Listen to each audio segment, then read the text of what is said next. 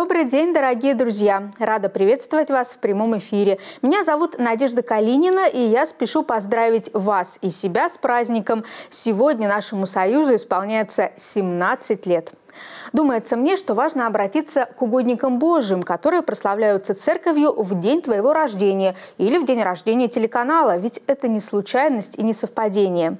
И, по-моему, таким образом можно проследить немало весьма символических связей. Так, сегодня день памяти святителей Афанасия и Кирилла, архиепископов Александрийских. Торжество в их честь установлено в знак глубокой благодарности за многолетние неустанные труды в утверждении догматов православия и ревностной защиты церкви от еретических учений. Также сегодня память родителей игумена земли русской Сергия Радонежского, преподобных Кирилла и Марии. Они воспитали настоящих христиан, а последние годы жизни провели в ангельском монашеском чине.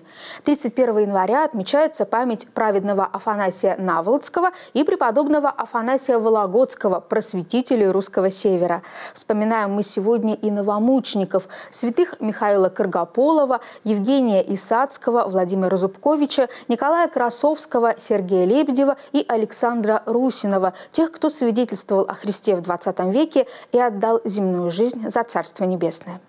А на Балканах сегодня чествуют святителя Максима, архиепископа Сербского. И в том, что дата рождения Союза – это день памяти одного из святых Сербии, я, например, вижу благословение на создание программ об угодниках Божьих, которых дала миру эта прекрасная многострадальная земля. Цикл «Свидетельство веры Сербия» начал выходить в эфир в ноябре прошлого года и скоро достигнет отметки в 20 выпусков. А начиналось все с разговора о почитании в Сербии царственных страстотерпцев. Вместе с гостем программы, клириком Вознесенского архиерейского подворья Екатеринбурга, священником Душиным Михайловичем, зрители телеканала «Союз» смогли совершить историческое путешествие.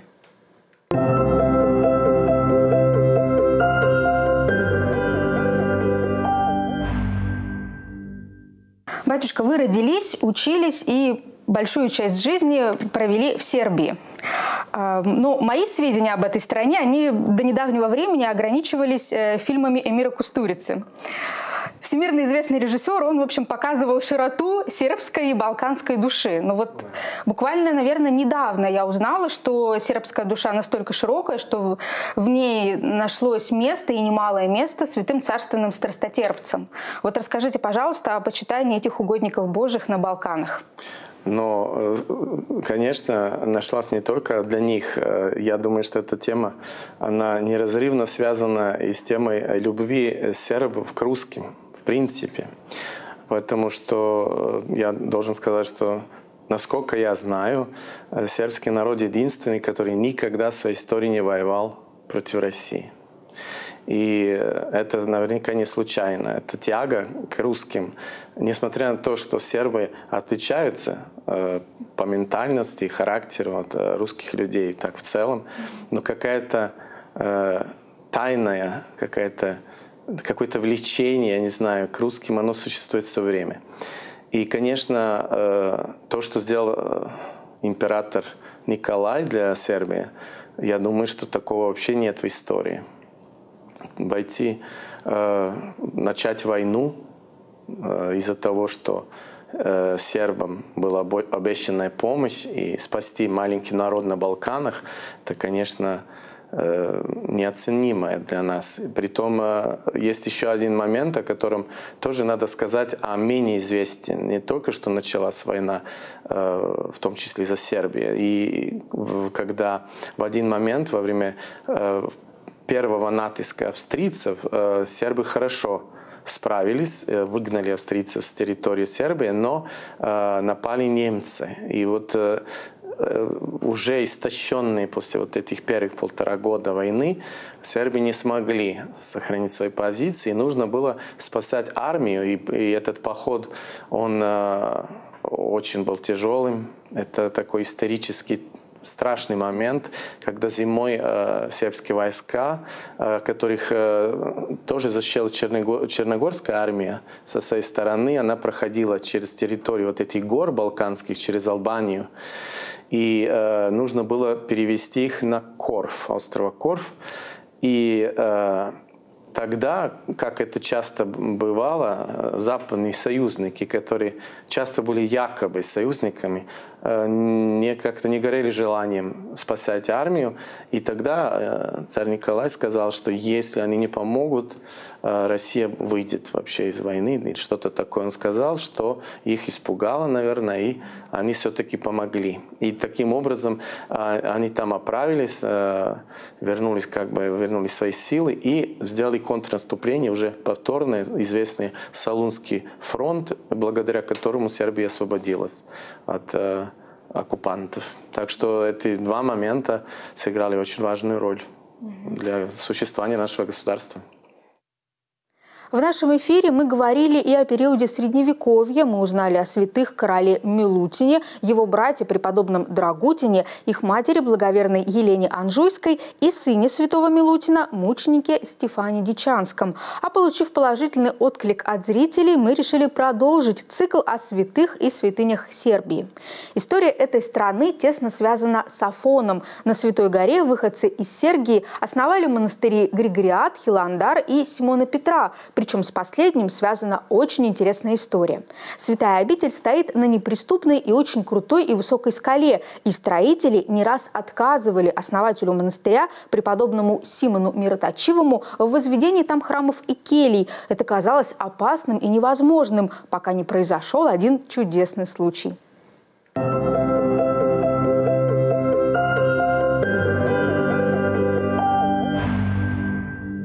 Пришли э, мастера, и он показал место, где должен был быть монастырь. Они сказали, такого быть не может, это очень опасно. Ну, начался разговор, который ничем не, не окончится, потому что они упорно говорили, что нельзя, а он упорно твердил Симон, что надо. И когда уже никакого результата не было, он э, пригласил на обед всех, это там на этом обрыве, и один из учеников взял вино и стакан, хотел подойти к столу, но вдруг как-то споткнулся и упал mm-hmm. в этот обрыв. И вот мастера сказали, вот видишь, уже первая жертва, а ты упорно хочешь вот такое. Он молчал. Не прошло, ну, не полчаса, появляется этот мальчик с другой стороны, с этим же вином и этим стаканом. Не пролита была ни одна капелька. Mm. И подходит к ним. То есть Пресвятая Богородица таким образом знак дала этим мастерам, и они сказали, мы сейчас убеждены, что ты человек Божий. Знаете, как у Христа, когда говорили, После этого, э, конечно, начался вот этот проект. Ну, нужно было тоже пример такой чудес, которые происходили. Нужно было поставить большой камень в фундамент, который они посмотрели несколько человек, его даже двинуть нельзя было, а не то, что перенести. Он подошел, перекрестил камень и сам взял его на свои плечи и принес туда поражает история борьбы и исповедничества сербского народа в период многовекового турецкого ига и то, какая страшная участь постигла народ в годы Второй мировой войны.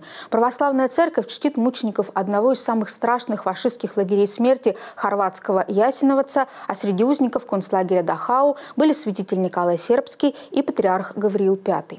Но сербы на протяжении всей своей истории не только смогли сохранить свою веру, но и поддерживали православие в других странах. Так, на берегах американского континента слова Евангелия звучали благодаря в том числе и святителю Мардарию Ускоковичу, первому архиерею Сербской православной церкви в Северной Америке, и святому Севастьяну Джексонскому, первому православному священнику, родившемуся в США.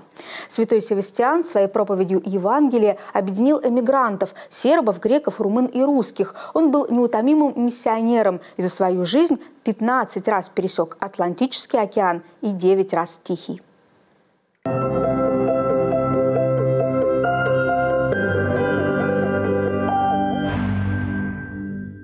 Очень много путешествовал. То есть сколько он э, ездил в те времена, опять это удивительно, он был э, и в Калифорнии, он был э, на Аляске, он там построил два храма сербских, один в Святом Саве, он э, просвещал эскимосов, э, до сих пор есть э, представители э, этого народа, которые крестятся с три, три пальца, то есть видно, что это осталось еще с тех времен. Э, как говорит Святой Владыка, он был и журналистом, он был апологетом, он писал писал богословские труды, чтобы представить американцам православие, о котором они ничего не знали.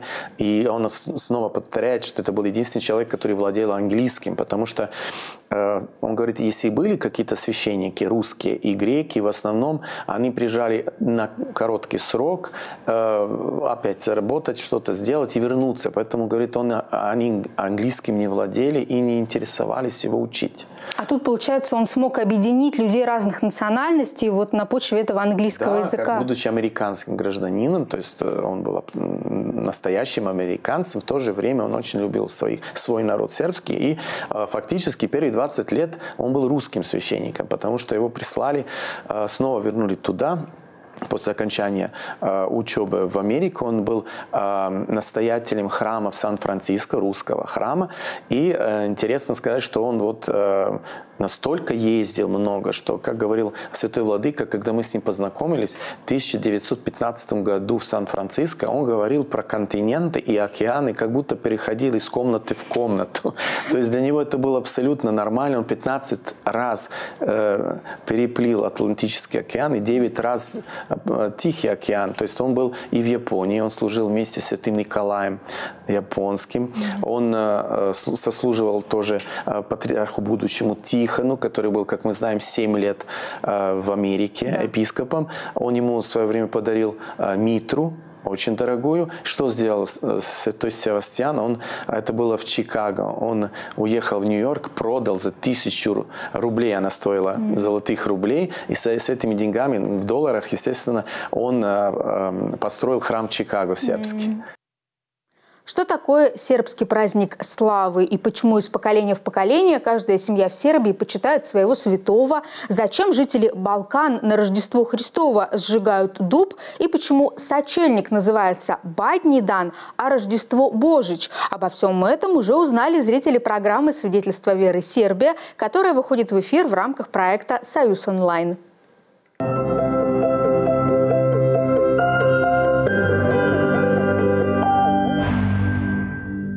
Сейчас в основном э, церковные люди предпочитают, потому что, знаете, это чисто технический момент. Обычно делается огромный огонь по несколько метров вверх. Это можно сделать только э, при храмах. То есть дома уже и опасно, и не делается. И как бы сообща оно как-то и, и легче, и приятнее. Но дома все равно. И остается трапеза такая же. Многие делают вот это, э, пшеницу бросают, солому. Я вот в монастыре Стефана Дычанского э, игумен это все делал. То есть это традиция, которая абсолютно везде, только она имеет разные формы.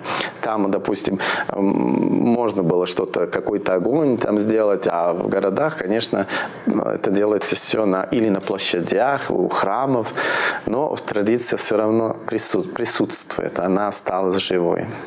Я так понимаю, что это вот со времен Саввы Сербского началось, когда вот он принес э, православную веру в Сербию, он э, сохранил вот эти обычаи, но вот э, придал им новый смысл? Я вам скажу, что это было даже раньше. Это даже есть некоторые сведения, что с 9 столетия. Он же жил у нас в 12 и 13 но просто он, как говорится, утвердил православие, потому что еще были шатания разные, но и в 11 тоже, видимо, это было, потому что традиция была языческая, и как только стали принимать христианство, стали видоизменять вот символизм этого всего. Цикл бесед со священником Душиным Михайловичем планируется продолжить. В следующих выпусках речь пойдет о том, как сербский великий князь Стефан Неманя стал святым Симеоном Мироточивым, узнаем о чудесах святого Савы Сербского и услышим историю любви и супружеской верности святой сербской царицы Милицы. И, конечно, я попрошу отца Душина рассказать нам о святителе Максиме Сербском, память которого совершается сегодня, в день рождения телеканала «Союз». Еще раз поздравляю всех с 17 десятилетием нашего общего телеканала. Увидимся в эфире Народного православного. До встречи. Thank you.